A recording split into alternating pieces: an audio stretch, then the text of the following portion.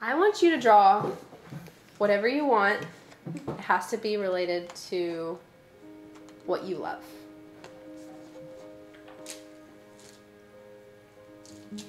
What is the first thing that comes to mind when you think about love or when someone says the word love? What's the first thing that comes to mind? I think of a heart. It's very mushy. Love is very mushy. So, what do you love in your life? I love my family. I love art. I love golf. I love my parents. I love hanging out with my friends. And I love playing piano. Okay. You done? Okay, so hold it up to the camera and kind of explain what your picture is. Um, so what I did was I put a tree, like the tree of life, because I really like nature. I drew like my daddy giving all his love to my mom.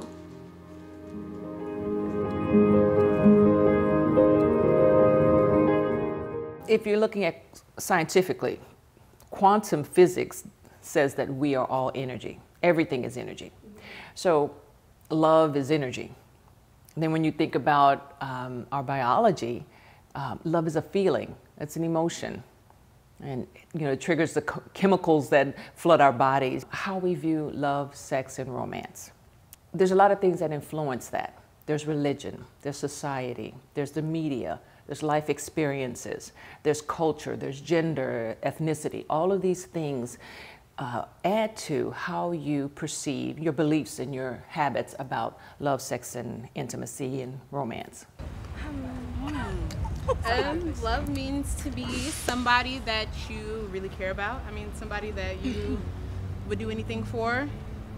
to um, a soulmate, a best friend, Yeah. someone you can always be around and always be happy. They make you happy. Shit, I don't even know. Honestly, um, that's something I'm trying to figure out, and like I feel like I have like issues with love, like the concept. caring for somebody else outside of yourself or dying to yourself for that person. So going beyond what you feel is right for you and looking at what is right for them.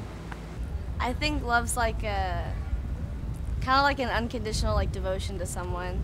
It's you kind of putting your own pride and your own needs away for a moment and kind of putting another person of more importance than yourself for some for some time at least.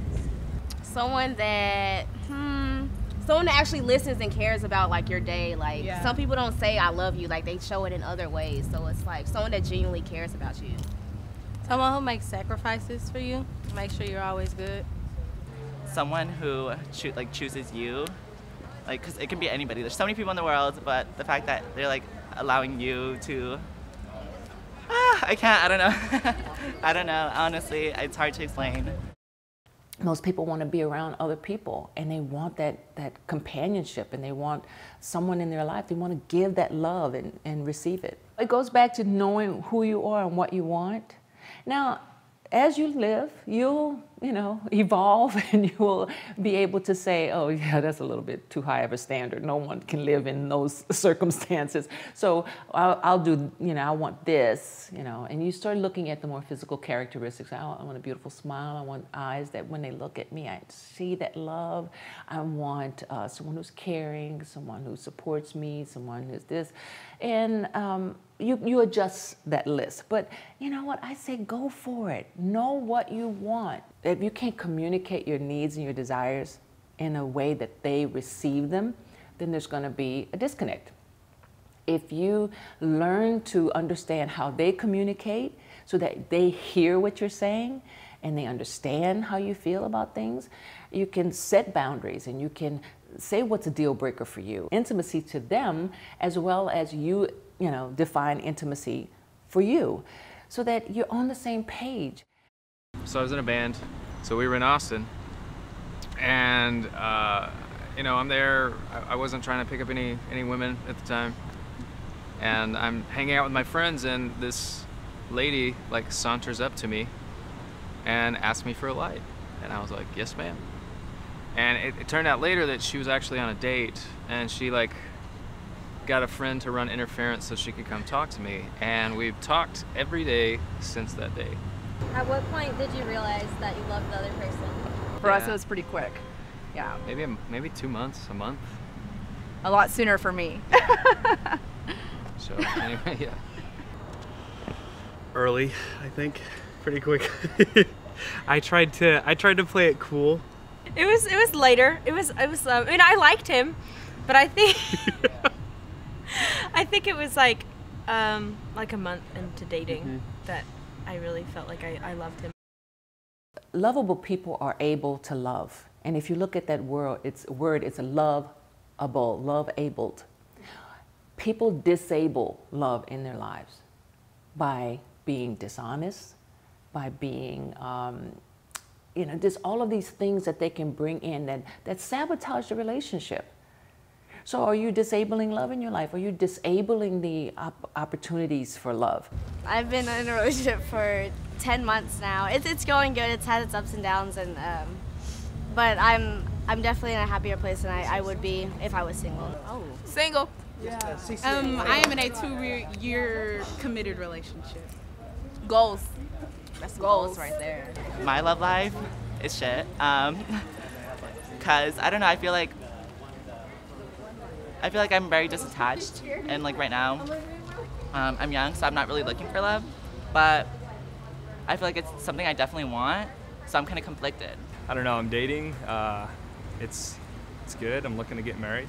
I'm single, but I'm not. hesitated? I'm not all the way single.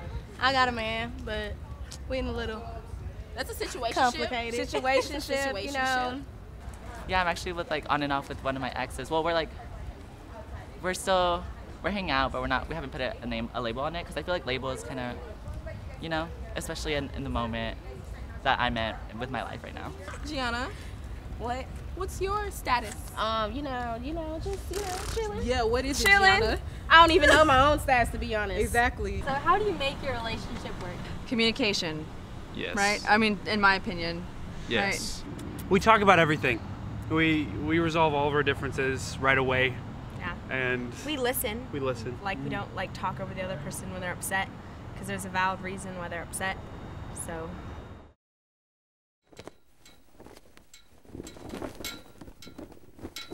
in college, I I was sitting in class, and this this guy in the back behind me just kept, you know, wanting my attention, and so I thought, well, maybe maybe I ought to just go out with him. Well, it was the homecoming parade, and he was a clown, and he he did all kinds of things to make me laugh as we were going down the street at the homecoming parade.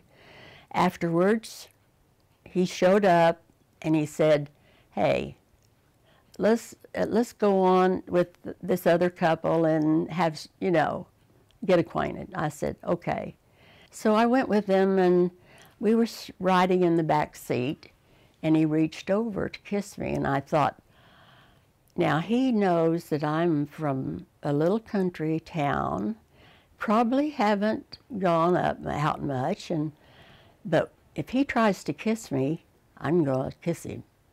And I did, and evidently he was impressed because every day after that he was on my case. Well, three weeks later, he said, I, I have waited all my life for a girl like you. You're the girl I want. I want to marry you. Three months later, we were married in our hometown. He was the most romancing. He just made me feel so loved. And so we decided that uh, we were going to take the hard licks and we were going to make a go of it.